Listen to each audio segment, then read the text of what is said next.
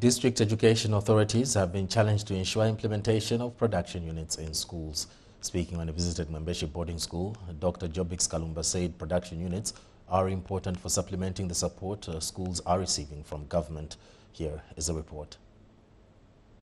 A field of tomatoes almost ready for harvest. Another field of cabbages, a fish pond and maize ready for milling.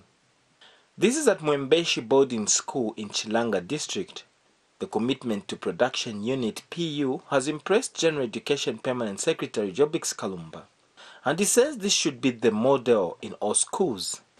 Let us rally behind this important innovation of making schools production units so that schools can be self-reliant. The administration says the school is now making 10,000 kwacha per week from sales of tomatoes. Imagine the grant that we are receiving from the government. Yes. We're able to sustain that grant by producing 100, uh, I mean, 100 boxes per week, which can be equated to 10,000. 10,000 per week. Yes. And as a school, I think we are there and we're equal to the task. And we'll make sure that uh, we continue supporting the government of the day by implementing all the policies, especially the policy of production unit. Meanwhile, Chilanga District Commissioner Richard Ndaje has encouraged pupils to take agriculture activities seriously.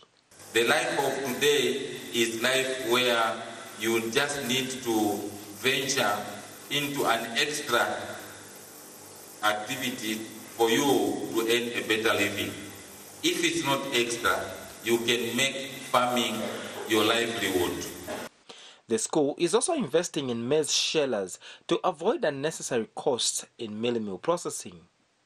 Ephraim Chiluba, ZNBC News, Mwembeshi. Thank you so much for watching. Don't forget to like, leave a comment and subscribe.